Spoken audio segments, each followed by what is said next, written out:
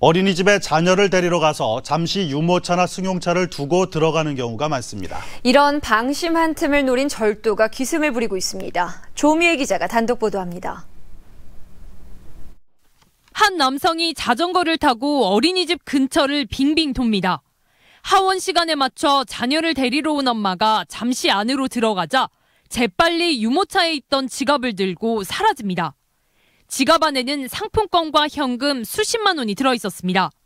평상시에 전혀 그런 걸 의심을 안 했으니까는 애기 데리고 나서 신발 신기고 나가는 시간 그 시간이니까 상상을 못했죠. 학부모가 자녀를 데리러 들어가는 찰나를 노린 절도인데 최근 이러한 범죄가 잇따르고 있습니다. 인근의 또 다른 어린이집. 자녀를 데리러 온 학부모가 차를 세워두고 들어가자 차 안에서 지갑을 훔쳐 달아나는가 하면 짐을 나르려고 잠시 어린이집 앞에 차를 세워둔 교사도 범죄의 표적이 됐습니다. 엄마들이 차를 놓고 들어가고 왔다 갔다 해서 자리를 비우는 걸 알고서 한 거라서 조금 무섭기도 하고 섬뜩하기도 하고 잠시 방심한 틈을 노린 절도범은 18살 최모군.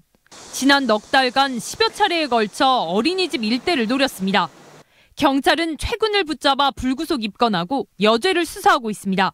MBC 뉴스 조미입니다.